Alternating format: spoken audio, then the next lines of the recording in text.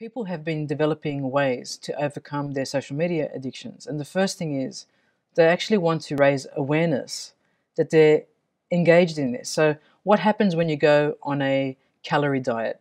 You write down what you eat each day. And so, people have been talking about digital nutrition and they've been speaking about a way to document the activities you're engaged in online so that you can reflect and say, well, okay, today I ate too much or I was on the screen too much. Um, so if the average person is spending about 11 and a half hours in front of a multiplicity of screens a day, then you want to reduce that amount of time and you want to be able to replace that activity that you would usually do in front of a screen with some other activity, like in the physical world. And so there have been different mechanisms people have thought of software programs to monitor usage of Facebook, how often you click to get alerts back on the screen to tell you, you know, you've been using this too, too often today.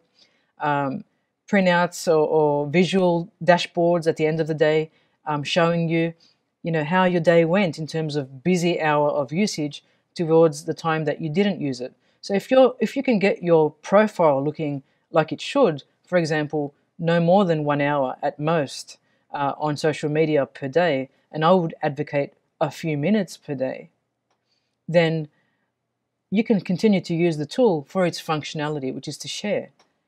But if you're having a problem, you can invest in different types of software that give you these alerts. You know, one of the ones I was looking at more recently was a wrist rester for your keyboard, uh, which zapped you, sends very small amounts of electric shock, like a Pavlok nudge, it's called, to get you off and thinking, well, you've been on that Facebook page now three times, it's three times and you're out we won't let you log back in. So different universities like Harvard uh, and so forth are looking at solutions for this social media addiction, or at least this alertness. One of my PhD students came in a few months ago and said to me, I'm investing uh, in a Fitbit. And I said, That's great. What for? Oh, well, he said, You know, I'm always sitting down at the computer. I need to get my step up, steps up. I need to look better. And I said to him, Well, that's very interesting. I said, You know, ever since these Fitbits went on sale, you know, everyone who's wearing them should look like fantastic. And then why don't you? And so we had a conversation around the Fitbit and its usefulness. And he said to me, Well, the watch actually has an alert that makes you get up and move, you know.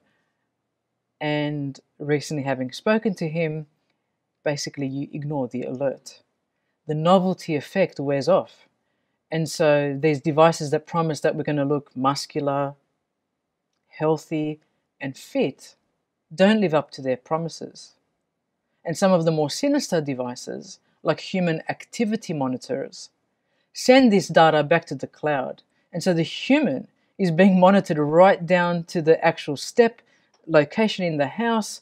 And so we're being decorporealized. We're being segmented into pieces. And our very states of sleep, our REM state, for example, is being monitored through these devices.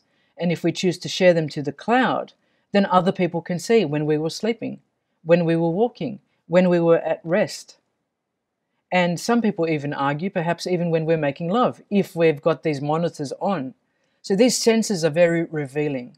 They tell people about how fast our heart rate is going, how fast our pulse rate's going, whether we've had any sleep or are heavily sleep deprived. And this kind of data in the hands of the wrong company can be used to denote whether you could be a pilot in the future, whether you've got the nerves to be um, in a very stressful job, for example. So we shouldn't be, we shouldn't have the wool put over our eyes that these companies are providing these free services for nothing.